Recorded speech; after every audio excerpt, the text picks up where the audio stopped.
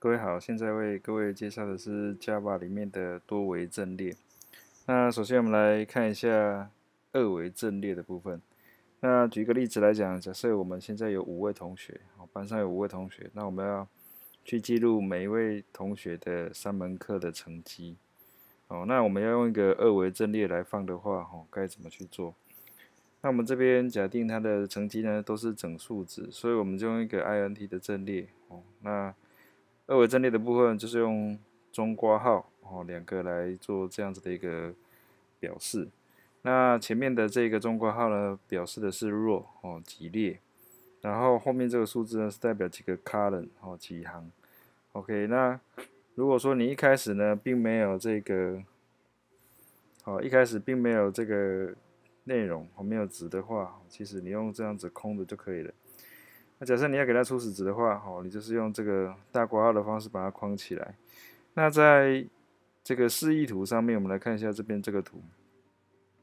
那各位可以看到，这个假设我已经有给它值了，那我在取得这阵列里面的资料的话，比如说我要取这个九，哦，显然我就是取这个阵列的名字，哦，data，然后看它的坐标。那坐标先看弱哦，弱是在一的部分，那 column 也是在一哦，所以就是取得 data 一一的部分，OK，好，所以这个二维阵列我的宣告方式是这样。然后假设呢，你要取得某一个弱哦，某一个弱的这个哦，你要取得这个阵列有几个弱哦，有几列哦，有几列，那你就可以用 data 点 length 哦，就可以知道它有几列。可是呢，哦，你你假设我是要知道 column 数，哦，你有几个这个几行，那这个时候你就可以用什么？你就可以用这个，比如说你取它的哦第零个 row 哦第零个 row，好，那取第零个 row，然后去点 length 呢，它就会告诉你它有几个哦这个 column 哦有几行。好，所以假设你有一个阵列哦，别人传进来，你不知道它的大小。你想要去取得它的弱跟 column 数，哈，可以用这样子的方式来做。好，接下来我们举一个例子，哈，给各位看，哈。假设我们还是以五位同学，哈，三门课，好的例子当这个说明。好，这是一个 Eclipse 的程式，好，我们来看一下。好，假设呢，我要宣告一个阵列，int 中括号。OK，然后呢，data，哦，这是变数名词，等于 new int 中括号五个同学，然后呢，三门课。好，那假设我一开始只有宣告，并没有给值，这时候我要把它印出来的话，我看会什么结果？int i 从零开始，i 小于五，i 加加。OK，这是针对弱的部分。再来 column。哦，j 等于零，j 小于五，哦，j 小于三，j 加加，OK，好，那做什么事呢？哦，把它印出来。好，那我可以这样子写哈，比如说，data 中括号加 i 加 j，哦，加 j。有括号，它的值呢等于什么？好，我们加这个 data 中括号 i，然后呢中括号 j，然后呢把它的值显示出来。好，显示出来之后呢，我们再去加一个哦换行那个 tab 键。OK，那每一个 row 哈，每一列印完之后，我们换行。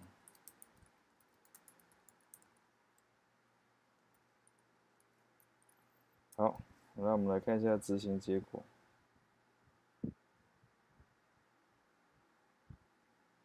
好，我们来看一下执行结果。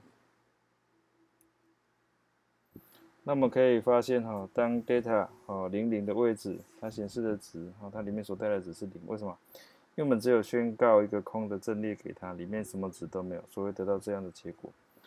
好，那假设呢？我现在不是这样的一个写法，而是有这个内容的，比如说，哦，这个呢，哦，中括号，然后呢，data，我我已经有值了，OK。那第一个 row 的写法，好，第一个 row 的写法就要这样，给值之后，然后呢，一个大括号结束，逗号就要换第二个 row。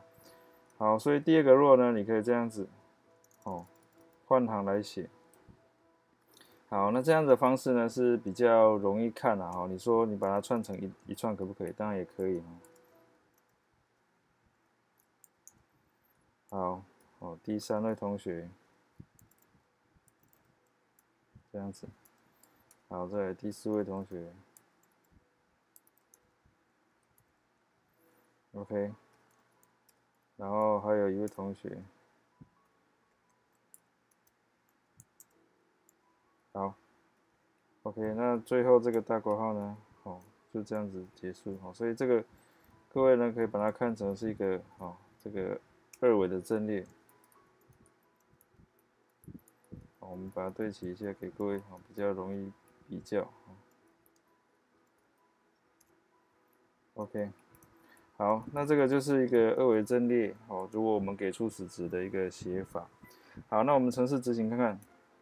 好，各位可以看到刚刚的值就在这边，所以呢，假设我今天好特地要把某一个值显示出来，好，比如说我要取得这个，好，我们来看一下十，好，这个值我要取得这个十的话，那我就要去，好，